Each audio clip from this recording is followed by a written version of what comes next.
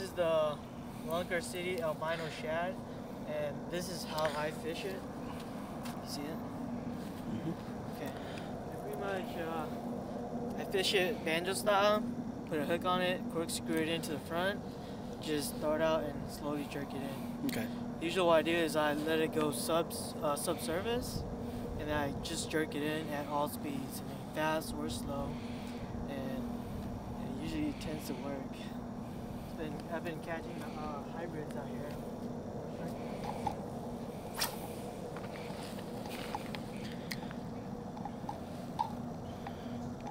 And he's pulling it in like this. It's almost like a like top water action. twitch, Yeah. and then I let I give it like a one second pause, and then I just twitch it in.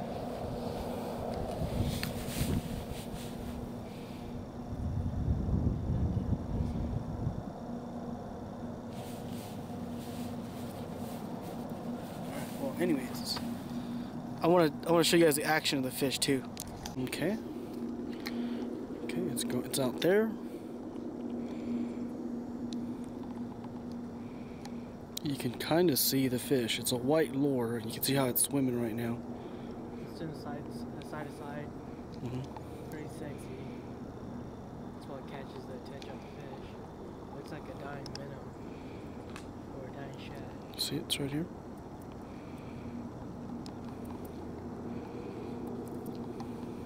Drives the fish nuts and they go.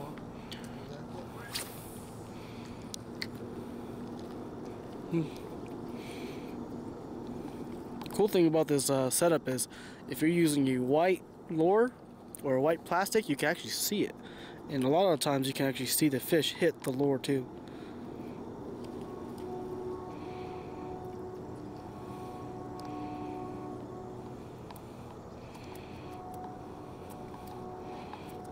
This setup is deadly on all predatory fish.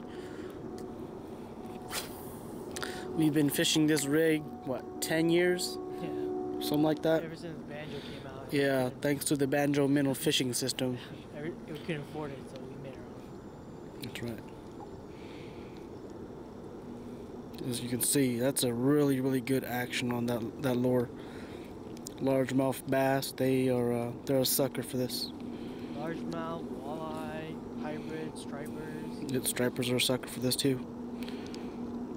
If you give it a pause, that's what triggers the attack. Mm-hmm. And for the setup, just the weight of the lure, you're, that's what you're casting with. Mhm. And this setup's not that bad. You can cast pretty good with it.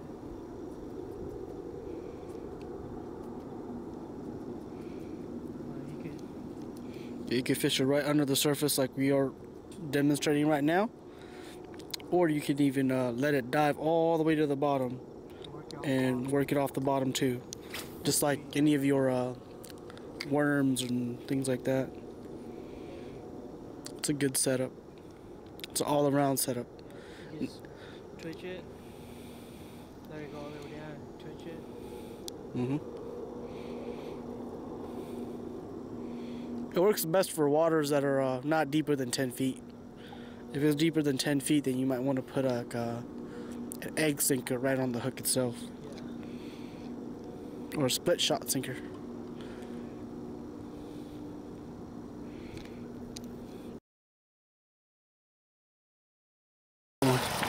Hit right on the shore too. I saw that. I saw that. I little little guy. Not too big, but he's still putting up a good fight. Oh, look at this. Hybrids. In December. Oh, we was just talking about it too. Bam. On the line. Oh, I'm gonna have to uh, post a picture for Too Perfect. He just saw me and he's like, Yeah. post a picture.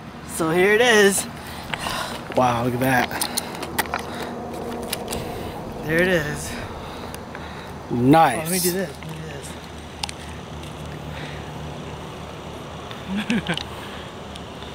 Hold up. Alright. We're gonna let this one go. It's not exactly our uh, size we want. It's still a good size though, Look no doubt. It's Still like a 20, probably a 21 inch hybrid.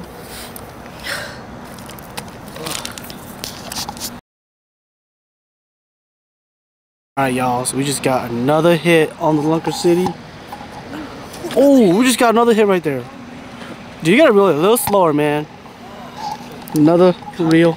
Calm down a little bit, calm down a little bit. I'll put the camera on you right now.